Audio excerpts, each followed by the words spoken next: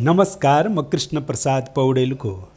आजको शुभ साहित्य शुभ मुहुर्तका साथ कार्यक्रम ज्योतिष दर्पणमा यहाँलाई स्वागत छ। शुभ मङ्गलाचरण।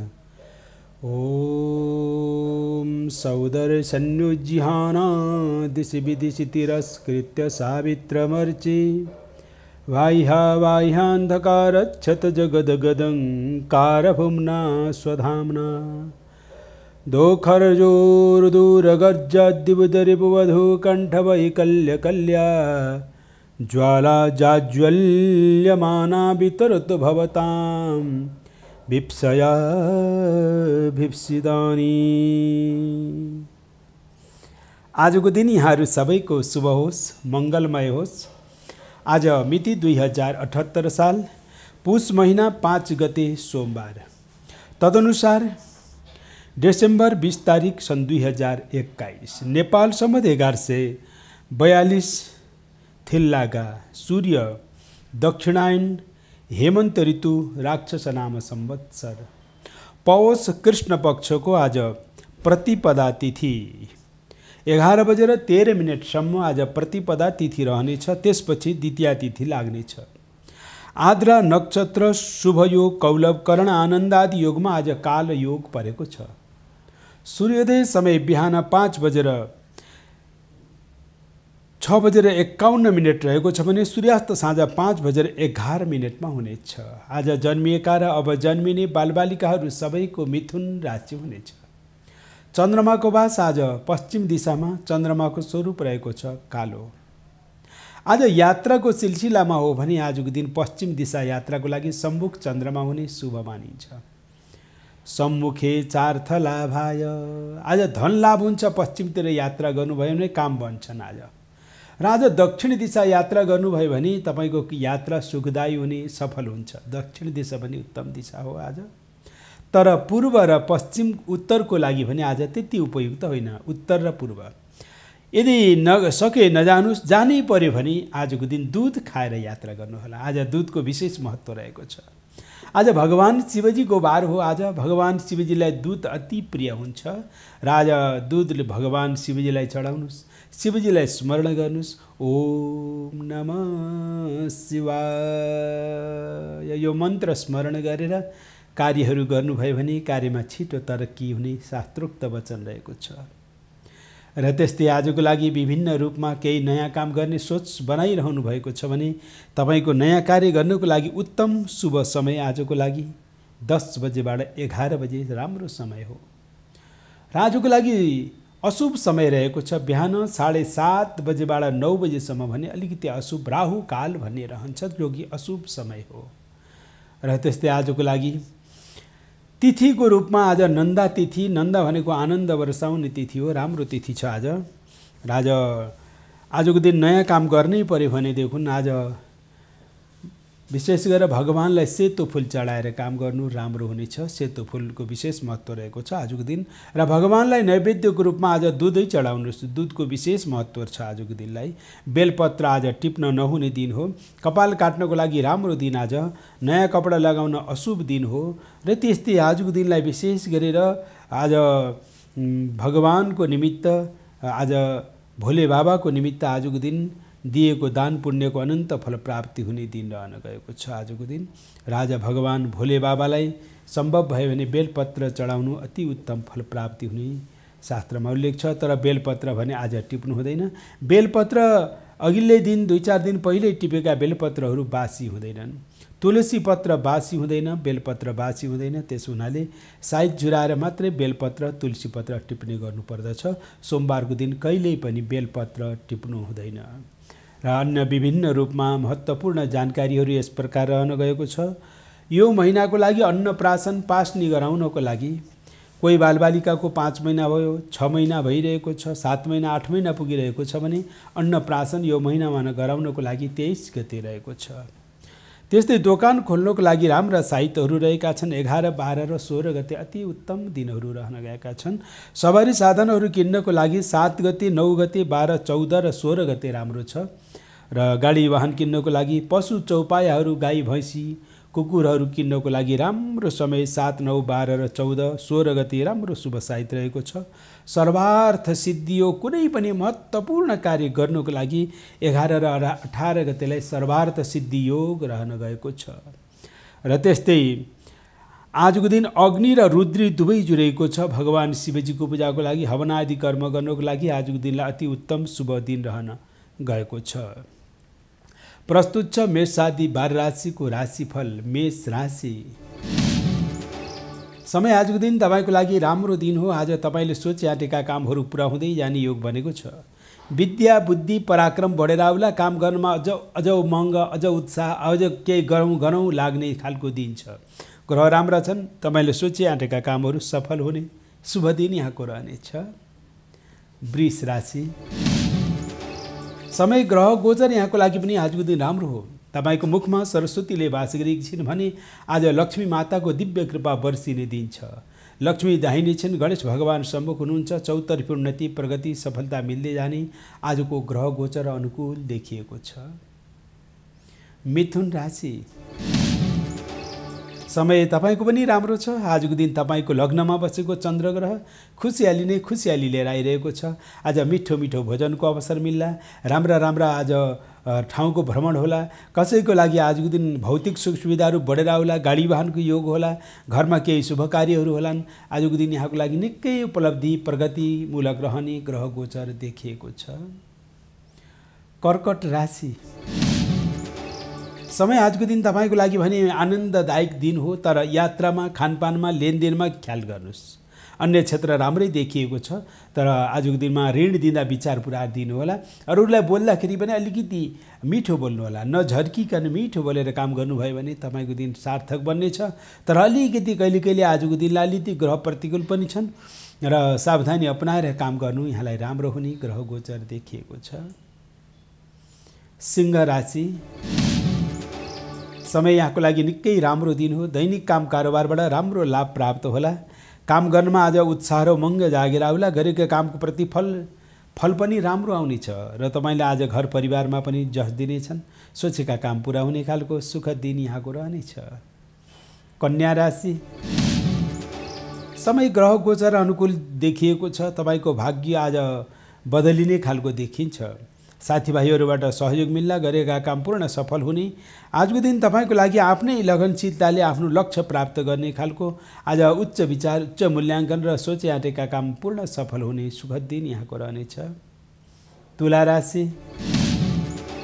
समय ग्रह गोचर आजको दिन तपाईँको लागि मध्यम रूपमा ग्रहहरू देखिएका छन्।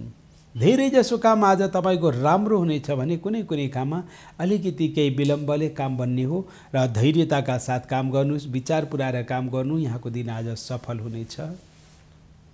वृश्चिक राशि आजको दिन तपाईँको लागि भने अलिकति विचार पुर्याउनै पर्ने दिन देखिएको छ। आज मङ्गल ग्रह प्रतिकूल छ। जस कारणले गर्दा तपाईँलाई काममा अलिकति मन चञ्चल चञ्चल भइरहने खालको दिन हो। सावधानीपूर्वक काम गर्नुभयो भने राम्रो हुनेछ। धैर्य भएर विचार पुऱ्याएर काम गर्नु यहाँको लागि राम्रो हुने। आजको ग्रह गोचर देखिएको छ। आजको दिनलाई राम्रो बनाउनको निमित्त भने आज सेतो कपडा लगाउनुहोस् र आजको दिन ओम नम शिवाय। मन्त्र स्मरण गर्नु यहाँलाई उत्तम हुनेछ। धनुराशि आजको ग्रह गोचर यहाँको लागि दैनिक काम कारमा कारोबारमा राम्रो लाभ मिल्ने देखिएको छ। आज वैदेशिक क्षेत्रका काम पनि सफल हुनेछन्। घर परिवारमा केही राम्रा काम बन्ने योग देखिएको छ। आज मनमा खुसियाली र उमङ्ग उत्साह जागेर आउने खालको समय छ। केही थोरै ढिलो तर राम्रो दिन छ। तपाईँले आज राम्रो प्रगति उन्नति गर्नै पर्ने खालको सुखद दिन यहाँको रहनेछ।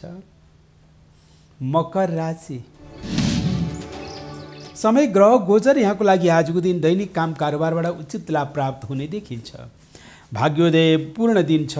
राम्रा राम्रा कामहरू बन्दै बन्दै जानेछन्। आजको दिन धन आर्जन गर्ने पनि राम्रो स्रोत खुल्ला र भने जस्तो सोचे जस्तो मङ्गलमय शुभ दिन यहाँको रहनेछ।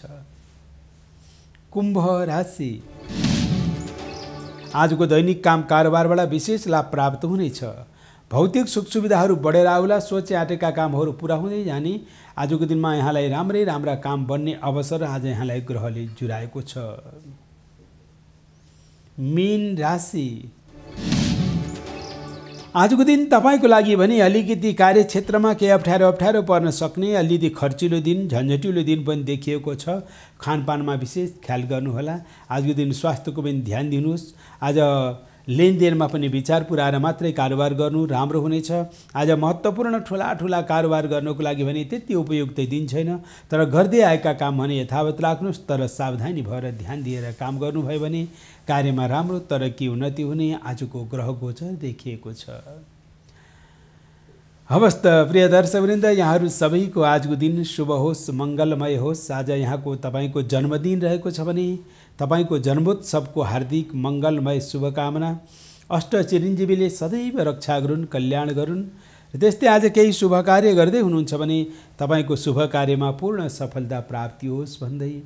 म अब आजको लागि विशेष महत्त्वपूर्ण विशेष जानकारी केही न केही प्रत्येक दिन मैले केही जानकारी लिएर आउने छु समय मिलेको खण्डमा भनेको हुनाले आजको दिन पनि यहाँहरूलाई एउटा महत्त्वपूर्ण जानकारी मैले लिएर आएको छु।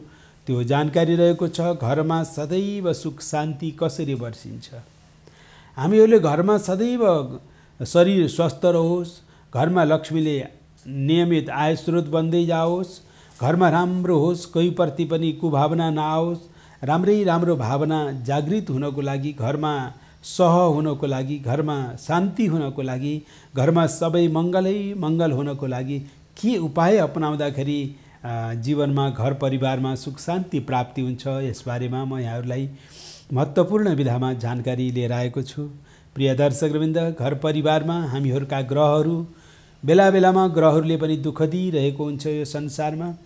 कहिले कहिले आफूले नचाहँदा नचाहँदै पनि कसैले तपाईँप्रतिको भावना राख्ने अब्जस दिने सोध्दै नभएका कुराहरू आइलाग्ने विभिन्न समस्याहरू बेला बखतमा नचाहँदा नचाहँदै पनि ग्रह गोचरले त्यस्तो पार्छ उल्टो बनाउन सक्छ र कहिले कहिले घर परिवारमा छिटो रिस उठ्ने काम नभन्ने दौडधुप धेरै हुने खर्च हुने भने यस्तो नहुने आदि आदि समस्या परिरहेको छ भने तपाईँले विधिहरू केही न केही अप्नाउनु पर्ने हुन्छ। यिनी विधिहरू यस प्रकार रहन गएका छन् र प्रत्येक दिन तपाईँको लागि विशेष गरेर यदि समस्या घरमा परिरहेको छ भने एउटा उपाय अपनाउनुहोस् तपाईँले। त्यो उपायले तपाईँको घरमा सदैव शान्ति प्राप्ति हुन्छ। यो आजमाएर हेर्नुहोस् यो अनुभव गरेर हाम्रा ऋषि महर्षिहरूले बताएको विधि हो। यदि तपाईँलाई निकै जटिल समस्यामा पर्नुभएको छ भने तपाईँ बिहान चार बजे उठ्नुहोस्। चार बजे उठिसकेपछि तपाईँले नित्य कर्म क्रियाहरू गर्नुहोस्। आफ्नो गर्नुपर्ने कर्महरू सन् स्नान सन्ध्या वन्दना आदि गरेर पवित्र वस्त्र धारण गर्नुहोस्। त्यसपछि तपाईँ आसन एउटा शुद्ध कम्बलको आसन लिनुहोस् र कम्बलको आसन सबभन्दा उत्तम मानिन्छ अथवा अथवा कुसको आसन राख्नुहोस्। कुसको आसनमा राखियो भने आयु बढ्दछ भनिएको छ। कम्बल भनेको सिद्धिदायक आसन हो। अब कम्बलको आसन लिनुहोस् र कम्बलको आसनमा बस्नुहोला र यस्ता पूजापाठहरू यस्ता गर्दा विशेष गरेर कहिल्यै पनि कपडाको आसनमा बस्नु हुँदैन र जहिलेसुकै कम्बलमा बस्नु पर्दछ। र त्यसमा पनि नेपालको कम्बल भनेको खाडीहरू यति अति सुन् शुद्ध हुन्छन् सिद्धिदायक हुन्छ। त्यसमा कम्बलको ठुलो महत्त्व रहन गएको छ। र कम्बलको आसन बनाउनुहोस् आसनमा पूर्व फर्किनु पूर्व फर्किएर अनि त्यसपछि आनन्दसँग ध्यान गर्नुहोस् आँखा बन्द गर्नु। आँखा बन्द गरेर तपाईँले आनन्दका साथमा कुनै पनि प्रकारका केही चिन्तनहरू नगर्नुहोस्। ध्यान दिनुहोस्। तपाईँले आँखा बन्द गर्नुहोस् र अनि ध्यान गर्नुहोस् तपाईँलाई एकछिन तपाईँलाई धेरै कुराहरू आउँछन् धेरै कुराहरू आउँछन् र कति कुराहरू तपाईँले नगरेका कुरा आउँछन् कोही गरेका कुरा आउँछन् मनमा धेरै तरङ्ग उत्साह आइरहेको हुन्छ आउन दिनुहोस् छोड्दै जानुहोस् अनि त्यही बिचमा तपाईँले एउटा मन्त्र स्मरण गर्दै गर्दै जानुहोस् आनन्दसित सबै कुरा भुलिदिनुहोस् सुस्त सुस्त सुस्त सुस्त भगवान्लाई स्मरण गर्नु। ओम महालक्ष्मै नम। यो मन्त्र स्मरण गर्दै गर्दै जानुहोस्। ओम महालक्ष्मी। जतिखेर सम्झिनुहुन्छ यो मनमा ल्याउनुहोस्। फेरि कुरा आउँछन् फेरि जान्छन् फेरि मन्त्र लिनुहोस् गर्दै गर्दै। तपाईँ ध्यान गर्नुहोस् तपाईँ यो प्रक्रिया नित्य आधा घन्टा गर्ने गर्नुहोस्। तपाईँको घरमा अवश्य नै सुख शान्ति प्राप्ति हुन्छ। यो ऋषि महर्षिहरूको अनुसन्धानले बताएको यो ध्यानको नियम हो। हवस् त प्रिय यस्तै विभिन्न कुराहरू म यहाँहरू समक्ष प्रतिदिन केही न केही राख्दै जानेछु। भन्दै यहाँहरू सबैको आजको दिन मङ्गलमय होस्। र अब जाँदा जाँदै भोलिको विशेष जानकारी भोलि छ गति मङ्गलबारको दिन भोलि द्वितीय तिथि रहेको छ। एक बजेर पाँच मिनटसम्म द्वितीय तिथि भोलि रहनेछ पुसको कृष्ण पक्षको द्वितीय तिथि।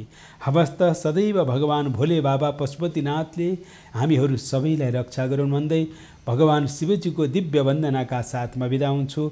यहाँहरू सबैको दिन शुभ होस् मङ्गलमय होस्। ओम। कर्पूरगौरं करुणावतारं संसारसारं भुजगेन्द्रहारं सदा वसन्तं हृदयारविन्दे भवं भवानी सहितं नमामि